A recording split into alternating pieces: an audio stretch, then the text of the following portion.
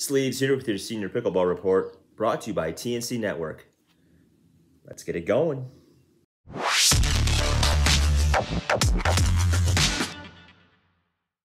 If you like this content, please consider subscribing, sharing, commenting, and check out our socials Facebook, Twitter, TikTok, and Instagram.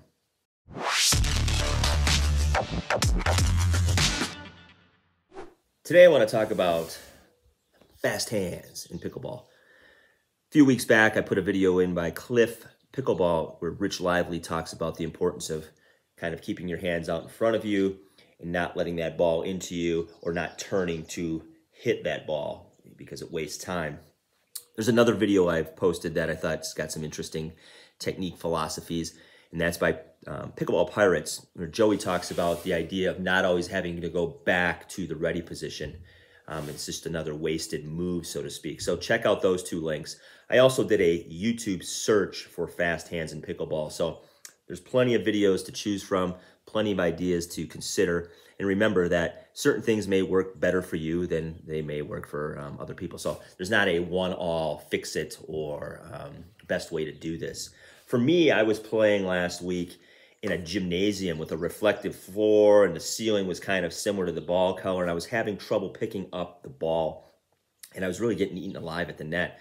So what I did was I took my, you know, standard grip and I've seen people do this where they kind of put two fingers on the paddle. Well, I even moved it up more and kind of made it more like uh, table tennis, and I put my thumb on the paddle as well. Now, I've given up a little bit of length, but this is an elongated paddle, so it kind of helps me out on this end if I give it up down here, so to speak. And it's a thin paddle, and it's easy to move through the air, but it really becomes easier when I kind of hold the whole paddle with three, um, you know, three fingers.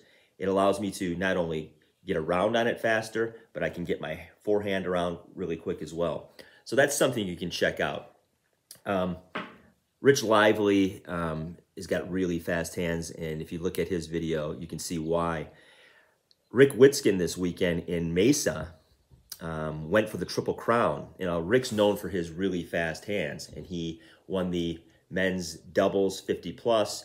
He won mixed doubles 50 plus, and he took fourth place in singles. And mainly due to his hands, he's incredibly fast. So these are people you can watch. You can watch Dylan Frazier, who's a pro, J.W. Johnson, um, Anna Leigh Waters and her mother Leigh Waters, um, the Johns brothers, all these folks have really fast hands. So see what they do, and you can sort of imitate and mimic some of that. But what's worked for me is really kind of choking up when I'm at the, you know, the net and getting that paddle around quickly.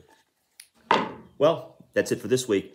And hey, it's a beautiful day, at least where I am. So let's pickle.